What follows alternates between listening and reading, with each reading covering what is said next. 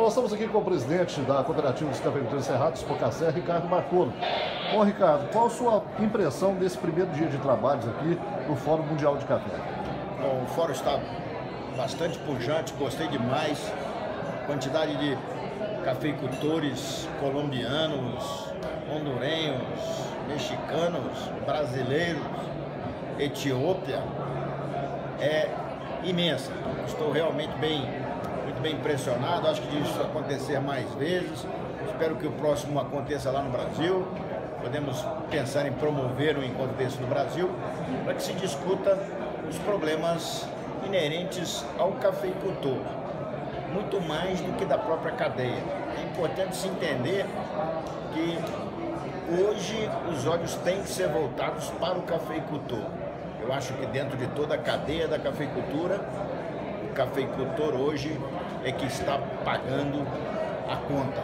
Então ele que está na ponta mais frágil, está sofrendo mais pressão pelos preços internacionais e também pelas necessidades de investimentos em sustentabilidade, em melhoria é, de, de, de práticas agrícolas que ele tem que fazer na sua propriedade para atender o consumidor.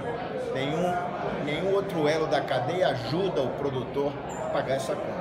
Isso é o que a gente está escutando aqui hoje no fórum e a demanda é que eles possam é, tocar o restante da cadeia para poder trazer recursos para os produtores é, também é, ajudar os produtores a pagar essa conta de sustentabilidade. Ricardo, mais de 1.500 produtores de todo o mundo, de 40 países, só do Brasil foram mais de 100 produtores presentes, ou são mais de 100 produtores. Tivemos a participação aqui da, do Cerrado em peso, do deputado Silas Brasileiro do CNC, mas não tivemos a presença de um grande líder político, que seria o presidente ou o seu representante.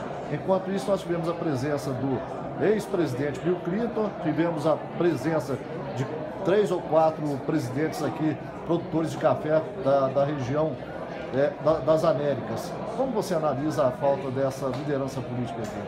Bom, vamos entender que o momento político brasileiro está realmente conturbado. Você começou sua fala dizendo lideranças políticas. Hoje a gente estamos difícil de ver lideranças políticas no Brasil. A gente vê cabeças rolando, a gente vê é, cada dia é, o garrote apertando mais a garganta dos políticos, porque aquilo virou algo diferente do que se tem como necessidade de lideranças políticas. Então, a falta de políticos aqui, ou de, de lideranças maiores de política, na minha opinião, ele está é, inerente a esse caos que está acontecendo em Brasília.